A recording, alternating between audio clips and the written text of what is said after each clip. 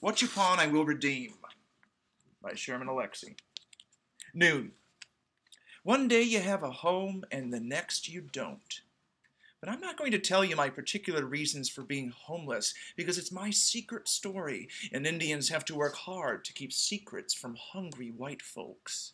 I'm a Spokane Indian boy, an interior Salish, and my people have lived within a hundred mile radius of Spokane, Washington for at least 10,000 years.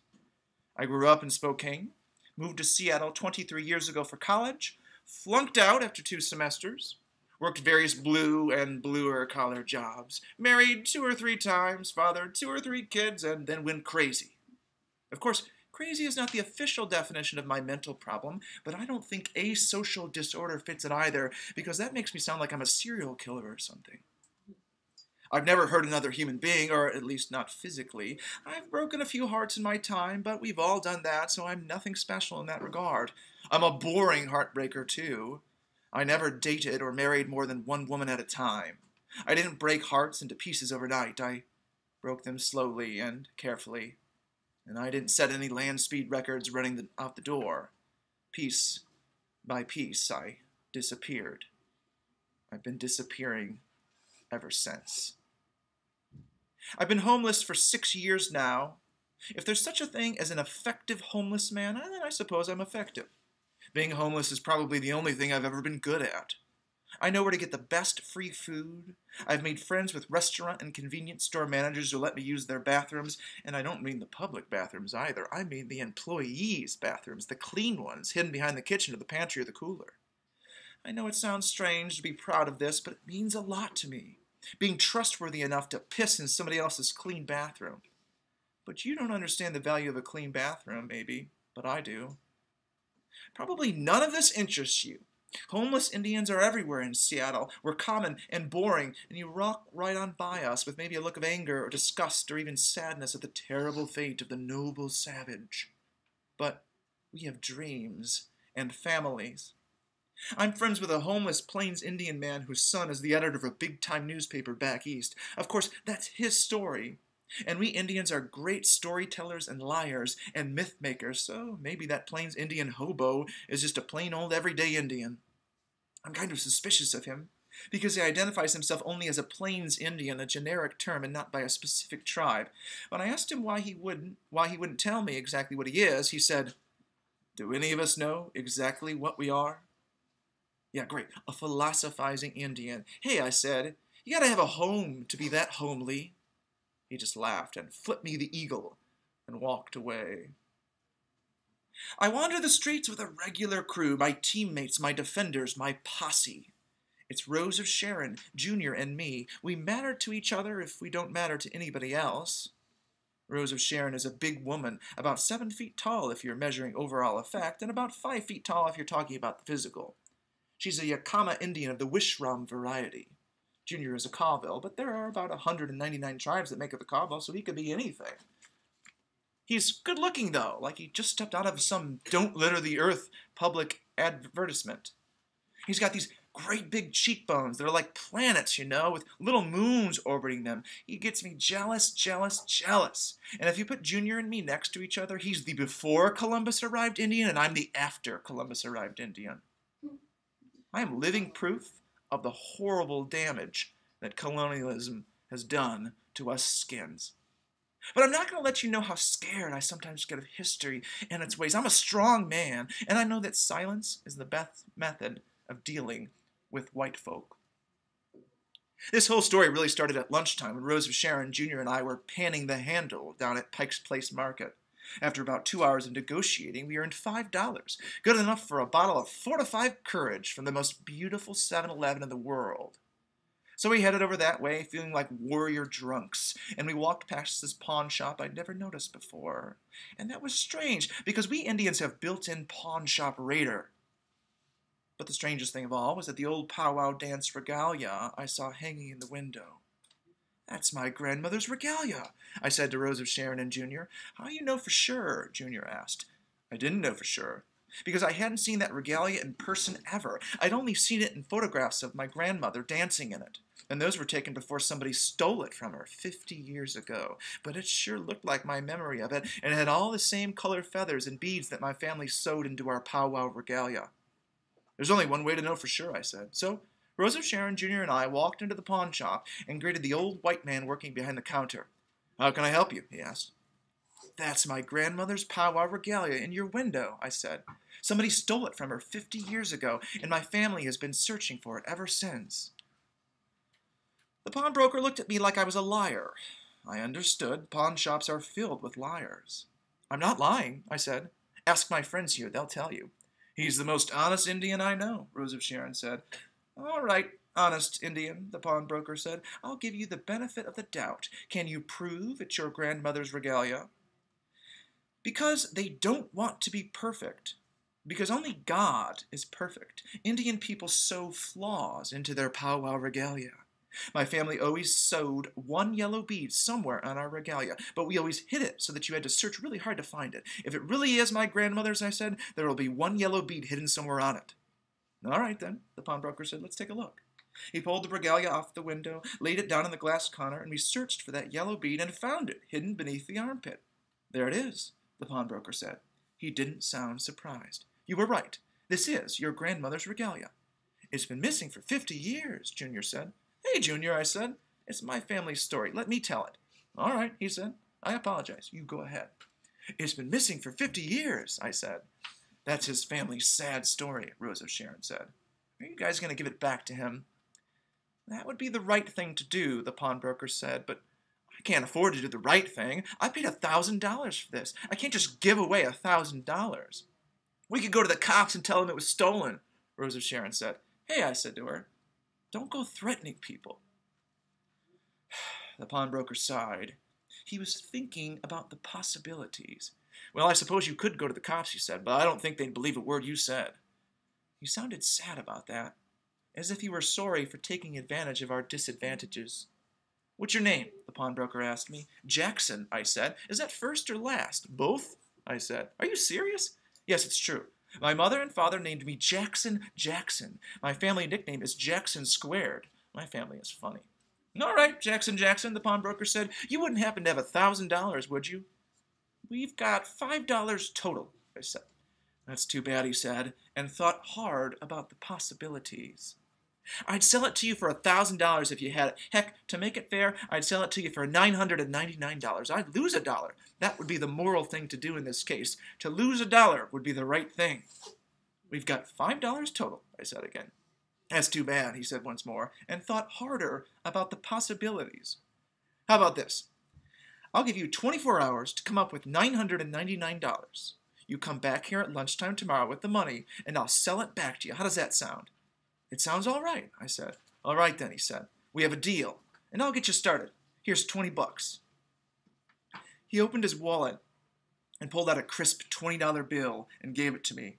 And Rose of Sharon Jr. and I walked into the daylight to search for 974 more dollars. 1 p.m. Rose of Sharon Jr. and I carried our $20 bill and our $5 in loose change over to the 7 Eleven and bought three bottles of imagination. We needed to figure out how to raise all that money in only one day. Thinking hard, we huddled in an alley beneath the Alaska Way Viaduct and finished off those bottles one, two, and three. 2 p.m. Rose of Sharon was gone when I woke up. I heard later that she had hitchhiked back to Toppenish and was living with her sister on the reservation. Junior had passed out beside me and was covered in his own vomit, or maybe somebody else's vomit, and my head hurt from thinking, so I left him alone and walked down to the water. I love the smell of ocean water. Salt always smells like memory. When I got to the wharf, I ran into three Aleut cousins who sat on a wooden bench and stared out at the bay and cried. Most of the homeless Indians in Seattle came from Alaska. One by one, each of them hopped a big working boat in Anchorage or Barrow or Juneau, fished his way south to Seattle, jumped off the boat with a pocket full of cash to party hard at one of the highly sacred and traditional Indian bars, went broke and broker, and has been trying to find his way back to the boat and the frozen north ever since. These Aleuts smelled like salmon, I thought, and they told me they were going to sit on that wooden bench until their boat came back. How long has your boat been gone? I asked. Eleven years, the elder Aleut said. I cried with them for a while. Hey, I said, do you guys have any money I can borrow? They didn't. 3 p.m. I walked back to Junior. He was still out cold. I put my face down near his mouth to make sure he was breathing. He was alive, so I dug around in the blue jean pockets and found half a cigarette. I smoked it all the way down and thought about my grandmother. Her name was Agnes, and she died of breast cancer when I was 14. My father always thought Agnes caught her tumors from the uranium mine on the reservation, but my mother said the disease started when Agnes was walking back from a powwow one night and got run over by a motorcycle. She broke three ribs, and my mother always said those ribs never healed right, and tumors take over when you don't heal right. Sitting beside Junior, smelling the smoke and the salt and the vomit, I wondered if my grandmother's cancer started when somebody stole her powwow regalia. Maybe the cancer started in her broken heart and then leaked into her breasts. I know it's crazy, but I wondered whether I could bring my grandmother back to life if I bought back her regalia. I needed money, big money, so I left Junior and walked over to the Real Change office. 4 p.m. Real Change is a multifaceted organization that publishes a newspaper, supports cultural projects that empower the poor and the homeless, and mobilizes the public around poverty issues. Real Change's mission is to organize, educate, and build alliances to create solutions to homelessness and poverty. It exists to provide a voice for poor people in our community. I memorized Real Change's mission statement because I sometimes sell the newspaper on the street. But you have to stay sober to sell it. I'm not always good at staying sober. Anybody can sell the paper. You buy each copy for 30 cents and you sell it for a dollar and you keep the profit. I need 1,430 papers, I said to the big boss. That's a strange number, he said, and that's a lot of papers. I need them. The big boss pulled out his calculator and did the math. It will cost you $429 for that many, he said. If I had that kind of money, I wouldn't need to sell the papers. What's going on, Jackson to the second power? he asked. He is the only person who calls me that. He's a funny and kind man. I told him about my grandmother's powwow regalia and how much money I needed in order to buy it back. We should call the police, he said. I don't want to do that, I said. It's a quest now. I need to win it back by myself. I understand, he said. And to be honest, I'd give you the papers to sell if I thought it would work, but the record for the most papers sold in one day by one vendor is only 302. That would net me about 200 bucks, I said. The big boss used his calculator. $211.40, he said. That's not enough, I said. And the most money anybody has ever made in one day is 525, and that's because somebody gave Old Blue $500 bills for some dang reason. The average daily net is about $30. This isn't going to work. No. Can you lend me some money? I can't do that, he said. If I lend you money, I have to lend money to everybody. What can you do? I'll give you 50 papers for free. Don't tell anybody I did it. Okay, I said. He gathered up the newspapers and handed them to me. I held them to my chest. He hugged me. I carried the newspapers back toward the water. 5 p.m. Back on the wharf, I stood near the Bainbridge Island terminal and tried to sell papers to business commuters boarding the ferry. I sold five in one hour, dumped the other 45 in a garbage can, and walked into McDonald's, ordered four cheeseburgers for a dollar each, and slowly ate them. After eating, I walked outside and vomited on the sidewalk. I hated to lose my food so soon after eating it. As an alcoholic Indian with a busted stomach, I always hope I can keep enough food in me to stay alive. 6 p.m. With one dollar in my pocket, I walked back to Junior. He was still passed out, and I put my ear to his chest and listened for his heartbeat. He was alive, so I took off his shoes and socks and found one dollar in his left sock and fifty cents in his right sock. With two dollars and fifty cents in my hand, I sat beside Junior and thought about my grandmother and her stories. When I was 13, my grandmother told me a story about the Second World War. She was a nurse at a military hospital in Sydney, Australia. For two years, she healed and comforted American and Australian soldiers. One day she tended to a wounded Maori soldier who had lost his legs to an artillery attack. He was very dark skinned. His hair was black and curly, and his eyes were black and warm. His face was covered with bright tattoos. Are you Maori? he asked my grandmother. No, she said. I'm Spokane Indian from the United States. Ah, yes, he said, I have heard of your tribes, but you are the first American Indian I have ever met. There's a lot of Indian soldiers fighting for the United States, she said. I have a brother fighting in Germany, and I lost another brother on Okinawa. I am sorry, he said. I was on Okinawa as well. It was terrible. I am sorry about your legs, my grandmother said. It's funny, isn't it? He said. What's funny? How we brown people are killing other brown people so white people will remain free. I hadn't thought of it that way. Well, sometimes I think of it that way, and other times I think of it the way they want me to think of it. I get confused. She fed him morphine. Do you believe in heaven? I asked. Which heaven? she asked. I'm talking about the heaven where my legs are waiting for me. They laughed. Of course, he said, my legs will probably run away from me when I get to heaven, and how will I ever catch them? You have to get your arms strong, my grandmother said, so you can run on your hands. They laughed again. Sitting beside Junior, I laughed at the memory of my grandmother's story. I put my hand close to Junior's mouth to make sure he was breathing. Yes, Junior was alive, so I took my $2.50 and walked to the Korean grocery store in Pioneer Square. 7 p.m. At the Korean grocery store, I bought a 50 cent cigar and two scratch lottery tickets for a dollar each. The maximum cash prize was a $500 ticket. If I won both, I would have enough money to buy back the regalia. I loved Mary, the young Korean woman who worked the register. She was the daughter of the owners, and she sang all day. I love you, I said when I handed her the money. You always say you love me, she said. That's because I will always love you. You are a sentimental fool. I'm a romantic old man. Too old for me. I know I'm too old for you, but I can dream. Okay, she said. I agree to be part of your dreams, but I will only hold your hand in your dreams. No kissing and no sex, not even in your dreams. Okay, I said. No sex, just romance. Goodbye, Jackson Jackson, my love. I will see you soon. I left the store, walked over to Occidental Park, sat on a bench, and smoked my cigar all the way down. Ten minutes after I finished the cigar, I scratched my first lottery ticket and won nothing.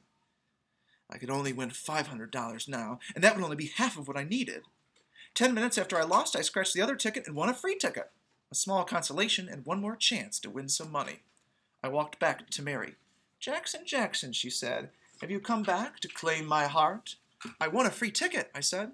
Just like a man, she said. You love money and power more than you love me. It's true, I said, and I'm sorry it's true. She gave me another scratch ticket, and I took it outside. I like to scratch my tickets in private. Hopeful and sad, I scratched that third ticket and won real money. I carried it back inside to Mary. I won a hundred dollars, I said. She examined the ticket and laughed. That's a fortune, she said, and counted out five twenties. Our fingertips touched as she handed me the money. I felt electric and constant. Thank you, I said, and gave her one of the bills. I can't take that, she said. It's your money. No, it's tribal. It's an Indian thing. When you win, you're supposed to share with your family. I'm not your family. Yes, you are. She smiled. She kept the money. With $80 in my pocket, I said goodbye to my dear Mary and walked out into the cold night air. 8 p.m. I wanted to share the good news with Junior. I walked back to him, but he was gone. I heard later that he had hitchhiked down to Portland, Oregon, and died of exposure in an alley behind the Hilton Hotel. 9 p.m. Lonesome for Indians, I carried my $80 over to Big Hearts in South Downtown. Big Hearts is an all Indian bar. Nobody knows how or why Indians migrate to one bar and turn it into an official Indian bar, but Big Hearts has been an Indian bar for 23 years. It used to be way up on Aurora Avenue, but a crazy Lummi Indian burned that one down, and the olders moved to a new location a few blocks south of Safeco Field. I walked into Big Hearts and counted 15 Indians, eight men and seven women. I didn't know any of them, but Indians like to belong, so we all pretended to be cousins. How much for whiskey shots? I asked the bartender, a fat white guy. You want the bad stuff or the badder stuff? As bad as you got. One dollar a shot. I laid my eighty dollars on the bar top. All right, I said. Me and all my cousins here are going to be drinking eighty shots. How many is that apiece? Counting you, a woman shouted from behind me. That's five shots for everybody. I turned to look at her. She was a chubby and pale Indian woman sitting with a tall and skinny Indian man. All right, math genius, I said to her, and then shouted for the whole bar to hear, Five drinks for everybody! All the other Indians rushed the bar, but I sat with the mathematician and her skinny friend. We took our time with our whiskey shots. What's your tribe? I asked. I'm Duwamish, she said, and he's Crow. You're a long way from Montana, I said to him. I'm Crow, he said. I flew here. What's your name? I asked them. I'm Irene Muse, she said, and this is Honey Boy. She shook my hand hard, and he offered his hand as if I was supposed to kiss it. So I did. He giggled, and I blushed, as much as a dark skinned crow can blush. You're one of them two spirits, aren't you? I asked him. I love women, he said, and I love men. Sometimes both at the same time, Irene said. We laughed. Man, I said to Honey Boy, so you must have about eight or nine spirits going up inside you, eh? Sweetie, he said, I'll be whatever you want me to be. Oh no, Irene said, Honey Boy is falling in love. It has nothing to do with love, he said. We laughed. Wow, I said, I'm flattered, Honey Boy, but I don't play on your team. Never say never, he said. You better be careful, Irene said. Honey Boy knows all sorts of magic. Honey Boy, I said, you can try to seduce me, but my heart belongs to a woman named Mary. Is your Mary a virgin? Mm. Honey Boy asked. We laughed. And we drank our whiskey shots until they were gone. But the other Indians bought me more whiskey shots because I'd been so generous with my money. And Honey Boy pulled out his credit card, and I drank and sailed on that plastic boat. After a dozen shots, I asked Irene to dance. She refused. But Honey Boy shuffled over to the jukebox, dropped in a quarter, and selected Willie Nelson's Help Me Make It Through the Night. As Irene and I sat on the table and laughed and drank more whiskey, Honey Boy danced a slow circle around us and sang along with Willie. Are you serenading me? I asked him. He kept singing and dancing. Are you serenading me? I asked him again. He's going to put a spell on you, Irene said. I leaned over the table, spilling a few drinks, and kissed Irene hard. She kissed me back. 10 p.m. Irene pushed me into the women's bathroom, into the stall, shut the door behind us, and you can read that part.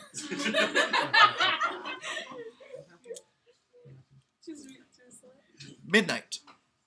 Nearly blind with alcohol, I stood alone at the bar and swore I had been standing in the bathroom with Irene only a minute ago. One more shot, I yelled at the bartender. You've got no more money, he yelled back. Somebody buy me a drink, I shouted. You've got no more money. Where are Irene and Honeyboy? Long gone. 2 a.m. Closing time, the bartender shouted at the three or four Indians who were still drinking hard after a long, hard day of drinking. Indian alcoholics are either sprinters or marathoners. Where are Irene and Honeyboy? I asked. They've been gone for hours, the bartender said. Where'd they go? I told you a hundred times I don't know. What am I supposed to do? It's closing time. I don't care where you go, but you're not staying here. You are an ungrateful bastard. I've been good to you. You don't leave here right now. I'm going to kick your ass. Come on, I know how to fight. He came at me. I don't remember what happened after that. 4 a.m. I emerged from the blackness and discovered myself walking behind a big warehouse. I didn't know where I was. My face hurt. I felt my nose and decided that it might be broken. Exhausted and cold, I pulled a plastic tarp from a truck bed, wrapped it around me like a faithful lover, and fell asleep in the dirt. 6 a.m. Somebody kicked me in the ribs. I opened my eyes and looked up at a white cop. Jackson, the cop said, is that you? Officer Williams, I said. Was a good cop with a sweet tooth. He'd given me hundreds of candy bars over the years. I wonder if he knew I was diabetic. The hell are you doing here? he asked. I was cold and sleepy, I said, so I lay down. You dumbass, you passed out on the railroad tracks. I sat up and looked around. I was lying on the railroad tracks. Dock workers stared at me. I should have been a railroad track pizza, a double Indian pepperoni with extra cheese. Sick and scared, I leaned over and puked whiskey. The hell's wrong with you? Officer Williams asked. You've never been this stupid.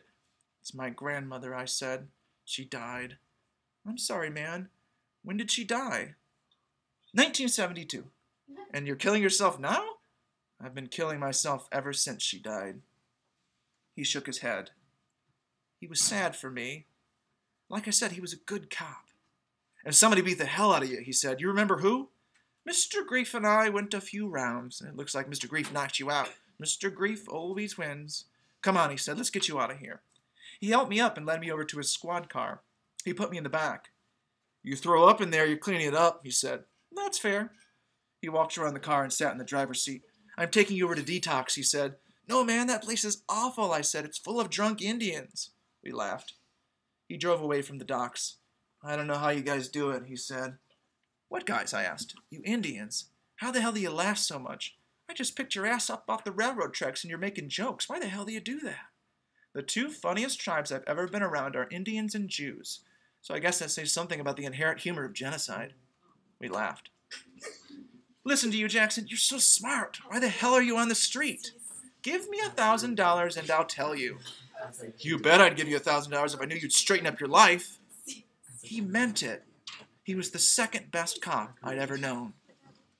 You're a good cop, I said. Come on, Jackson, he said. Don't blow smoke up my ass. No, really, you remind me of my grandfather. Yeah, that's what you Indians always tell me. No, man, my grandfather was a tribal cop. He was a good cop. He never arrested people, he took care of them, just like you. I've arrested hundreds of scumbags, Jackson, and I've shot a couple in the ass. It don't matter. You're not a killer. I didn't kill them. I killed their asses. I'm an ass killer. we drove through downtown. The missions and shelters had already released their overnighters. Sleepy homeless men and women stood on street corners and stared up at a gray sky. It was the morning after the night of the living dead. Do you ever get scared? I asked Officer Williams. What do you mean? I mean, being a cop, is it scary? He thought about that for a while. He contemplated it. I liked that about him. I guess I try not to be to think about it too much about being afraid, he said. If you think about fear, then you'll be afraid. The job is boring most of the time, just driving and looking into dark corners, you know, and seeing nothing, but then things get heavy. You're chasing somebody, you're fighting them, or walking around a dark house and you just know some crazy guy's hiding around a corner and hell yes, it's scary. My grandfather was killed in the line of duty, I said. I'm sorry, how did it happen? I knew he'd listen closely to my story. He worked on the reservation. Everybody knew everybody. It was safe. We weren't like those crazy Sioux or Apache or any of those other warrior tribes. They've been three murders on my reservation in the last hundred years. That is safe. Yeah, we Spokane, we're passive, you know. We're mean with words and we'll cuss out anybody, but we don't shoot people or stab them. Not much anyway. So what happened to your grandfather? This man and his girlfriend were fighting down by Little Falls. Domestic dispute, those are the worst. Yeah, but this guy was my grandfather's brother, my great uncle. Oh no. Yeah, it was awful. My grandfather just strolled into the house. He'd been there a thousand times, and his brother and his girlfriend were drunk and beating on each other, and my grandfather stepped between them, just as he'd done a hundred times before, and the girlfriend tripped or something. She fell down and hit her head and started crying. And my grandfather kneeled down beside her to make sure she was all right, and for some reason, my great uncle reached down, pulled out my grandfather's pistol out of the holster, and shot him in the head. That's terrible, I'm sorry. Yeah, my great uncle could never figure out why he did it. He went to prison forever, you know, and he always wrote these long letters, like 50 pages of tiny little handwriting, and he was always trying to figure out why he did it. He'd write and write and write and try to figure it out. He never did. It's a great big mystery. Do you remember your grandfather? A little bit. I remember the funeral. My grandmother wouldn't let them bury him. My father had to drag her away from the grave. I don't know what to say. I don't either. We stopped in front of the detox center. We're here, Officer Williams said. I can't go in there, I said. You have to. Please, no. They'll keep me for 24 hours and then it will be too late. Too late for what? I told them about my grandmother's regalia and the deadline for buying it back. If it was stolen, you need to file a report, he said. I'll investigate it myself. If that thing is really your grandmother's, I'll get it back to you, legally. No, I said. That's not fair. The pawnbroker didn't know it was stolen. And besides, I'm on a mission here. I want to be a hero, you know? I want to win it back like a knight. That's romantic crap. That may be, but I don't care about it. It's been a long, but I do care about it. It's been a long time since I really cared about something. Officer Williams turned around in his seat and stared at me. He studied me. I'll give you some money, he said. I don't have much, only thirty bucks. I'm short until payday, and it's not enough to get back the regalia, but it's something. I'll take it, I said. I'm giving it to you because I believe in what you believe. I'm hoping, and I don't know why I'm hoping it, but I hope you can turn 30 bucks into a thousand somehow. I believe in magic. I believe you'll take my money and get drunk on it. Then why are you giving it to me? There ain't no such thing as an atheist cop. Sure there is. Yeah, well, I'm not an atheist cop. He let me out of the car, handed me two fivers and a twenty, and shook my hand. Take care of yourself, Jackson, he said. Stay off the railroad tracks. I'll try, I said. He drove away. Carrying my money, I headed back to the water. 8 a.m. On the wharf, three those three Aleuts still waited on the wooden bench. Have you seen your ship? I asked. Seen a lot of ships, the other Aleut said, but not our ship. I sat on the bench with them. We sat in silence for a long time. I wondered if we would fossilize if we sat there long enough. I thought about my grandmother. I'd never seen her dance in her regalia, and more than anything, I wished I'd seen her dance at a powwow. Do you guys know any songs? I asked the Aleuts.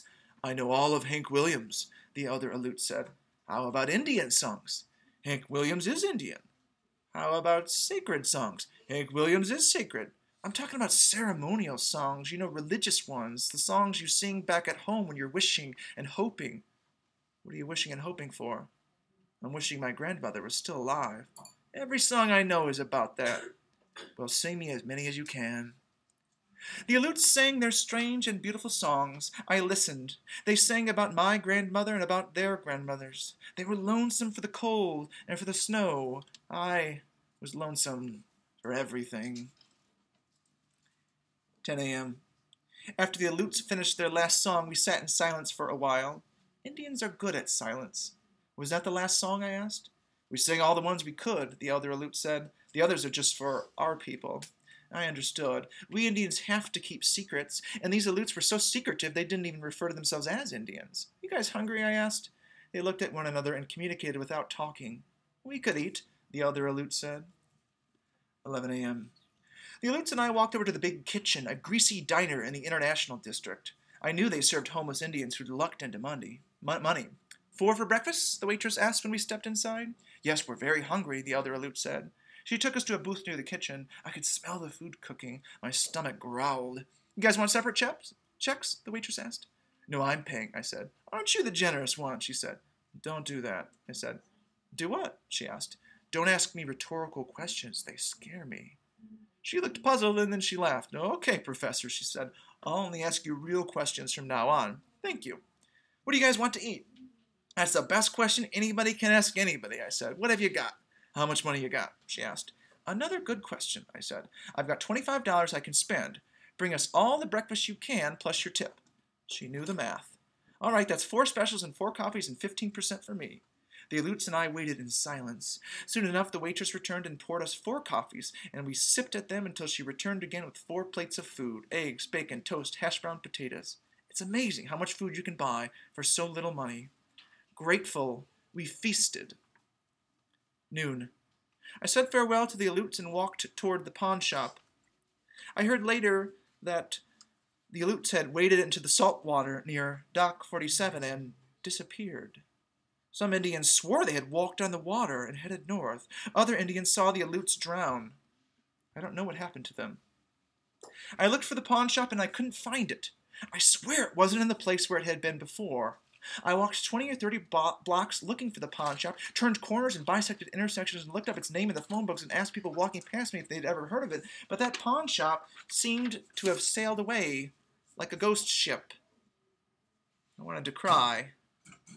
And just when I'd given up, when I turned one last corner and thought I might die if I didn't find that pawn shop, there it was, in a space I swear it hadn't occupied a few minutes ago.